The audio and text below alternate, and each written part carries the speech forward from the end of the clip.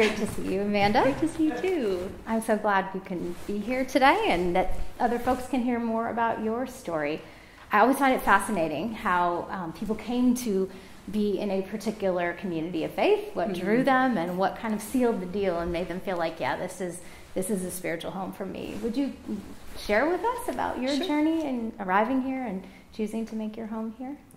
Yeah, so we moved to Burlingame last summer, and the summer kind of brought a time of contemplation for me, and I was wondering if there was a place for me within a church after a long time away. And I began listening to this podcast called Two Feminists Annotate the Bible while I read the Bible.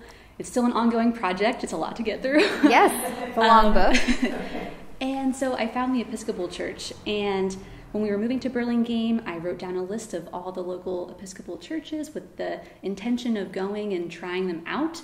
And I came to St. Paul's once, and I've just been coming back ever since.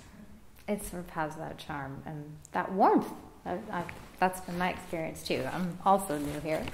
Uh, For sure. And finding my way, but I'm so glad you heard that. And was there a particular moment that you you felt yourself sort of relax and know, yeah, this this feels like home?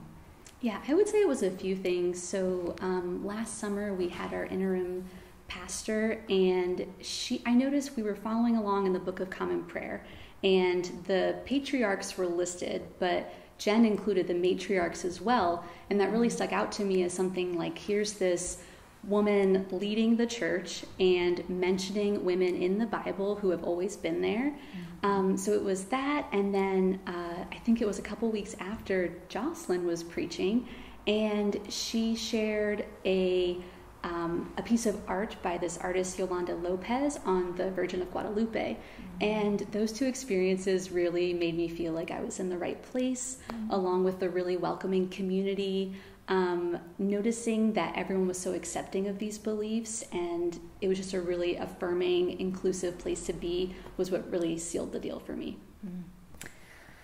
It's very powerful. I think what you have shared echoes some of my own journey in finding a place and a home and, and seeing women priests, even before I had any awareness of God's call in my life, was this really um, powerful container that said, you know, we value all of the gifts that God has entrusted to human beings, and we're willing to make space for those gifts to flourish.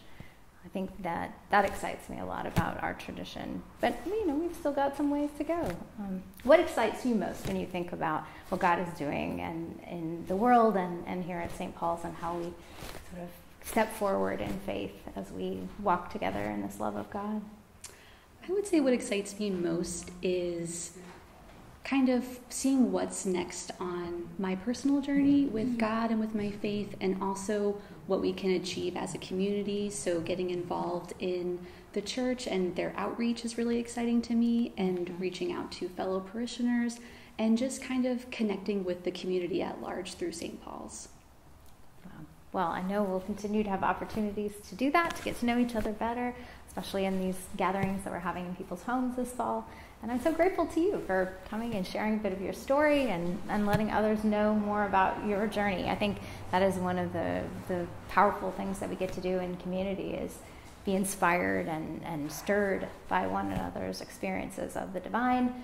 Um, and our picture of God is, is deeply enlarged by those glimpses that we catch through one another's stories. So thank you for sharing about yours this morning, and thank you all for being here.